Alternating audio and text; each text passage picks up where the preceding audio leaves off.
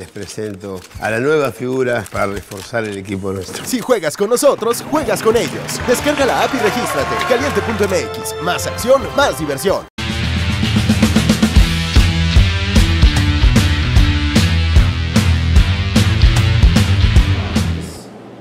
Es normal que hay un clima de frustración, ¿no? Porque nos habíamos ilusionado todo con la posibilidad de, de estar entre los mejores ocho y no se pudo dar y bueno, este objetivo. ¿Cómo calificas o cómo te calificas en ese torneo también tomando en cuenta este cierre donde hay una seguidilla de tres derrotas consecutivas? Sí, muy irregular.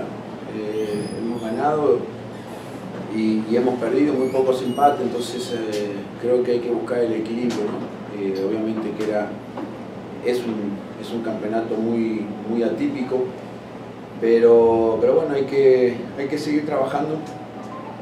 No me, jamás me doy por vencido ni bajo, ni bajo la, cabeza ante, ante, lo difícil.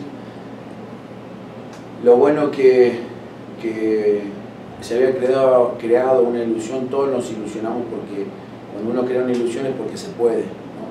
Lamentablemente esta frustración eh, es muy fuerte, es un golpe fuerte porque incluso el, el cierre con el segundo gol y, posibilidades que tuvimos, no las concretamos y, pasa eso. Pero bueno, queda la Copa el miércoles y con Pachuca, donde hay que el cierre de, del torneo con, Monterrey para lograr 24 puntos porque sería algo muy bueno por, lo que, por el primer objetivo que teníamos en México.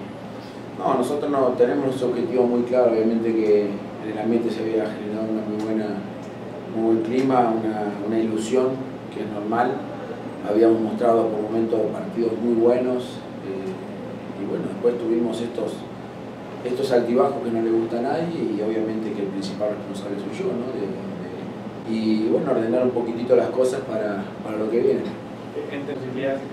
No, tenemos la planeación con partidos amistosos y, y bueno, eh, haciendo un trabajo eh, muy minucioso porque tenemos que llegar bien al último partido porque hay que conseguir un buen resultado, ¿no? Gracias, Luz, adelante.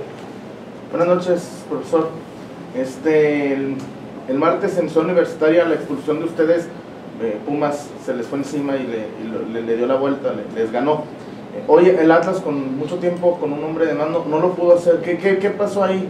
Porque logramos la superioridad, pero lo que pasa es que no, no concretamos, ¿no? Eh, tuvimos la de Barcelona también, que ahí hubiera cambiado todo. Y, y Pumas jugó 40 minutos, nosotros tuvimos 18 minutos jugando con uno más. Viene, eso, eso es diferente, ¿no? Pero, pero bueno. Y el momento allá en, en, en, en Cebú que justo nos estábamos acomodando eh, con, después de la expulsión y minuto 70 nos hace el gol. Esa es la diferencia.